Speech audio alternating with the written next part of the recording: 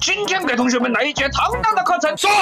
啊，众所周知啊，顺风区的螳螂都很厉害呀。那逆风区的螳螂呢？啊，那就比一般的英雄更拼意识和操作了。螳螂一定要玩出那种啊，我随时都能秒你的那种气势，看到了吗？啊，锁子当场吓昏。青钢影打万豪现在是不好打的啊，所以我现在帮他建立优势啊。这种血量呢，我就赌他的 W 没好啊，有 W 他是不会跑的啊，成功拿下啊。青钢影非常的兴奋啊，闪得好，下次不准闪了。中路也快被锁子拔掉了一塔啊，我们的交。呢也是经常看不到人啊，周波配合塔的伤害呢，拿下锁子啊，并保住一塔。但是下路更是重量级啊，月亮男孩零杠三的三度劣势，我必须站出来了。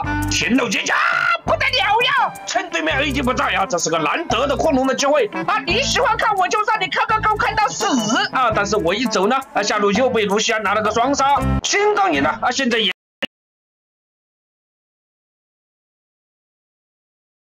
又稳重。说着，我要让你知道什么叫做灯短郎，面带极恨了。哎，呦，老子居然被他算计了啊！可以，我在野区刷个野呢，啊，都是偷偷。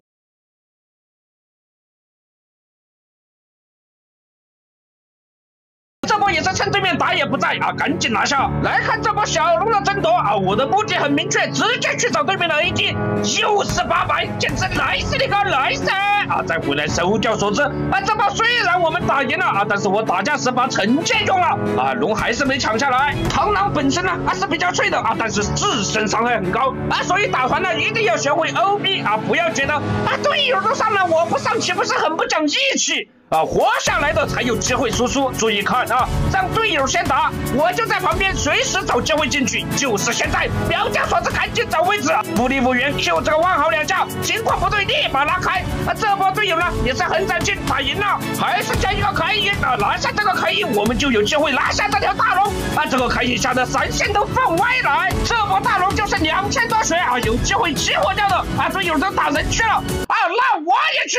啊，刚好站在锁子的刀口上啊！本来局势就快扭转过来了，但是就是这么一念之差，让本就富裕的对面呢，啊变得更是不堪重负。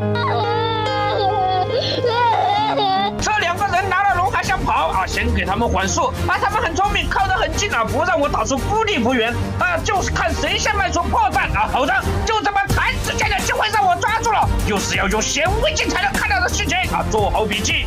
对面想强拆我们的高地啊！注意看，寻找时机，谁敢上来就打谁啊！两边隔着一道墙了，打的是不可开交啊！隔墙打团啊，也能这么激烈？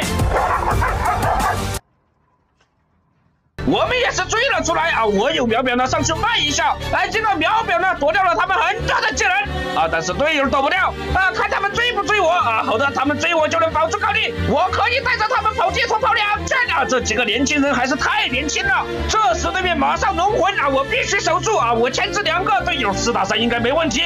开心小大龙，点线过我再换啊！隐身不给他开大的机会，青龙姐姐一拳下去啊！赶紧拿开，队友在上路打赢了，支援了。过来啊！成功保住了小龙，对面开始打大龙了，我必须要站出来了啊！娜美做视野，直接将其秒掉啊！这把能不能赢，就看这条大龙能不能抢下来。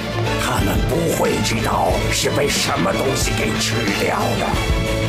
漂亮，我做到了，我抢下了这条大龙，队友立马跟了上来，简直